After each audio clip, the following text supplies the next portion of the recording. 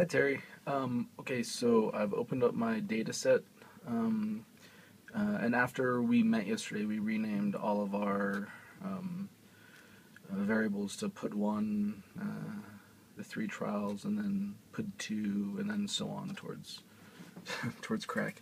Um, at any rate, so we went ahead and made sure all our um, our data is good. There's no oddball scores. There's no missing values. There's no kind of weird outliers. And um, go ahead and run my reliability analysis.